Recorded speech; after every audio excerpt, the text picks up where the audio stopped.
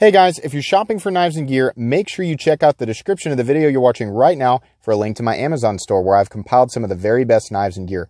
There's a whole bunch of different categories, including some of my own personal recommendations. There's something down here for everybody, so make sure you take a look. Thanks! What's going on YouTube Metal Complex here and today I've got a really exciting unboxing to share with you guys as I'm sure you can tell by the thumbnail and title. This knife was sent very quickly to me by Scott Whittington uh, from USA Made Blade. Um, you'll be able, I'm going to link this knife uh, to, um, you know, the uh, listing on USA Made Blade so you guys can go check it out immediately. But if you've never shopped there, uh, check them out. You can go to their website here at usamadeblade.com.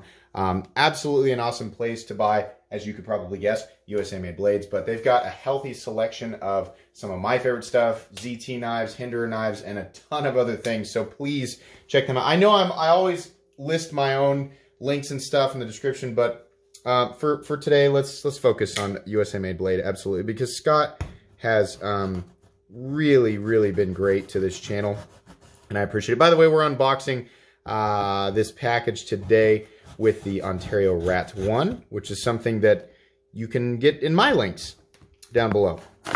Okay, let's get this out. I am so, so interested. I was not expecting ZT to announce a new model so quickly. Um, so what we have here is the brand new ZT0357, in this case, the Blackwash G10 version in 20 CV. Um, I uh, was very, very happy with um, Zero Tolerance's execution of the 0308. It's hard to remember all those numbers.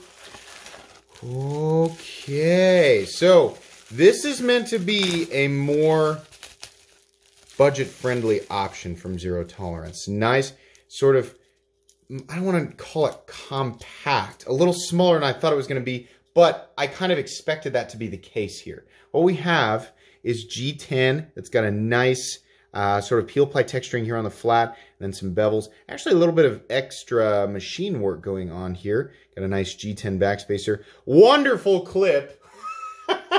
Much happier with this clip than some of the other stuff that I've seen from Zero Tolerance. Um, and a blackwash blade. Let's get this out. Ready? Oh, yeah. Ooh. Ooh. Ooh, crispy action. Um, so, I mean, I, I would expect that type of action from... Oh, that's why. it's assisted. Okay. Uh, I, did, I was like, wow, that thing came flying out of there. So this is an assisted model from Zero Tolerance. Um, but it does feel great. And it's I was one, I was like, what is going on here with the... I was feeling the pressure on the back end. This makes me think a lot of the ZT0095. Uh, I reviewed that knife a while back. Very um, uh, very large amount of belly down here and nice. Comes to a, a very fine tip. I'm going to guess probably 125 thousandths on the spine. Look at this, this nice area back here um, as you sort of come down uh, the flipper tab, I, off the flipper tab, you, you land in a nice, comfortable area. Um, but yeah, very straightforward, um, more budget-friendly option from uh, Zero Tolerance. You know, got a, a lot of their stuff is a combination of titanium, carbon fiber, um, you know, inlay stuff, and that gets expensive. These are U.S. made knives, right? You can check out the pricing and stuff on this by just following the link um, right at the top of the description. I'll list this there so you can go take a look at it. But these do come in a blackwash variant and then a stonewash variant, as I understand. And then I, I think the liners are color matched too. You can check them out. Something that caught my eye here is the it looks like the screw goes all the way through and then catches a barrel thread on the other side. That's interesting. Not something that I normally see from ZT. In any case, it looks like it's probably a T8 pivot, T6 body screws right here, and then you've got your lanyard hole. I'm to just real quick slip this in the pocket and back. Yeah, it's really, uh, the carry profile, right? I mean, we're to do a full review on it carry profile on this thing is excellent. Ergonomics are excellent. This is a nice size. Um, definitely a sturdy liner lock. You can see there, steel liner lock locking up at something like 50%. And the centering is dead on as it should be. Um, this is a nice looking knife. You know, if you really, it, it looks like something that's going to be a little bit more friendly to people wanting to get into ZT, but are a little nervous about transitioning from the $50 mark or $100 mark on knives that they've been used to in the past and then jumping up to what's typical for ZT, which is around 225 to $250, right? This definitely is not um, in that range. I, I want to say that it's closer to the 150-ish mark. I don't know. Check the link to be sure, but very compelling, very interesting model from Zero Tolerance. Um, it is something that I'm it's it's definitely not like an overbuilt knife. You know, like I've been calling for zero tolerance to be stop doing these weird things and do something more overbuilt.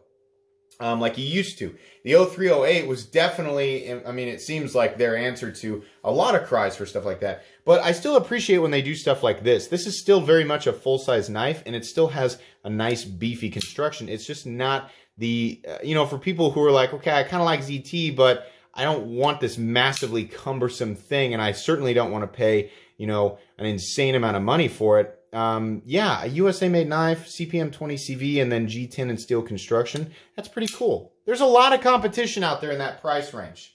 Um, and this, you know, it, it, whether, you know, what, what people are wanting, what people are looking for, you know, in that price range, it varies. But um, I'll bring up a knife that um, I think is a good example. Um, something that I have always said is about the point of diminishing returns in American production knives, and that's the Hogue Ritter RSK MK1G2 um, in M390, uh, G10, and a steel liner construction.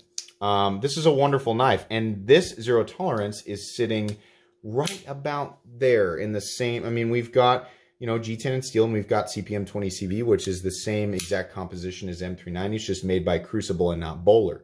So very, very interesting. I know there's a lot of people probably wanting to look at this thing up close. I can tell you right now, for those of you wondering about the edge, yes, it's it's extremely thin. I, I mean, looking at pictures of this, I, I assume that was going to be the case because it's not a thick blade stock.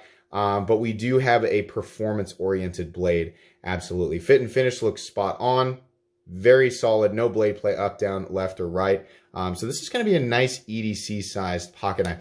I got to be honest, I don't know how I feel about the assisted thing.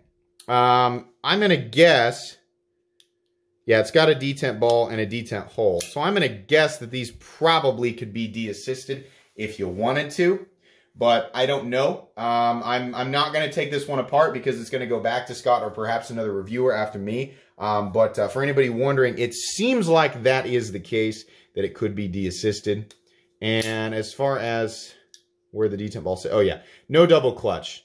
Um, if this were to be de-assisted, um, you'd be in a good place. So anyways, very, very interesting, very excited to take a full look. Um, expect uh, a full review of this knife um, to come out, you know, within a week or week and a half on this channel. But I think that's going to be pretty much it today, guys. Um, let me go ahead and get USA Made Blade sticker back out. Like I said, if you want to check this out, uh, check out usamadeblade.com. I will leave a link right at the top of the description so you guys can go do that. But yeah, anyways, guys, um, I hope you enjoyed this short little unboxing. If you did, please leave a like. If you'd like to check out my other content, I do, of course, have lots of videos of knives that are either expensive or inexpensive that I do or don't like, so check those out. And if you enjoy all my content, go ahead and click on this Metal Complex logo right here, subscribe, and make sure your notifications are set to all because there's definitely more coming. Thanks again for watching, everybody, and have a great day.